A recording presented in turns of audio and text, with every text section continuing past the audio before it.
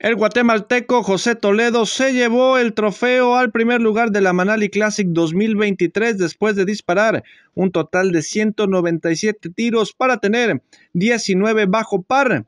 Esta fue la segunda parada en la gira de golf profesional en México, la cual repartió 1.800.000 pesos en premios.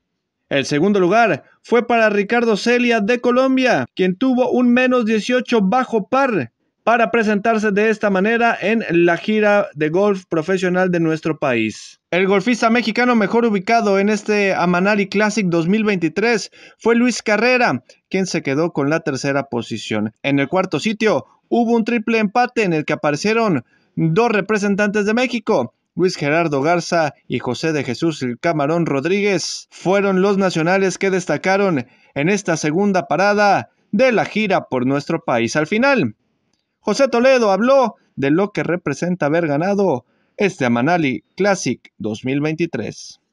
José Toledo, una victoria más aquí en la gira de golf profesional mexicana. ¿Cómo te sientes? Ah, muy contento con esta victoria. Eh, vengo de terminar mi temporada en el Corn Ferry Tour y bueno, pues terminé un poco con el ánimo medio abajo porque se me fue mi tarjeta, pero qué más que una buena victoria para levantar el ánimo y también, como dijo Rafa en la premiación, Recién tengo un nuevo integrante en la familia que es mi hijo Nicolás, así que contenta con la llegada de nuestro bebé. En lo deportivo, en el 16, 17 por ahí, aquí en el 18 Celia te apretó bastante, ¿no? Sí, la verdad que eh, todo el día no nos despegamos más de dos golpes de diferencia, así que no, no aflojé ningún, ningún hoyo, no hice ningún error, así que no hice bogies y creo que eso me, me mantuvo el momentum. Y bueno, sí, tuve oportunidades de, de, apretar los últimos hoyos, pero este, no se le dieron las cosas. Así que bueno, pues te le deseo todo lo mejor a Pipo para lo que viene ahorita. Te conviertes en el segundo mejor, el máximo ganador en la historia de la gira, a solo dos títulos de Camarón Rodríguez. No, pues sí, claro, la leyenda del Camarón siempre. Eh, qué gran orgullo poder estar cerca de él.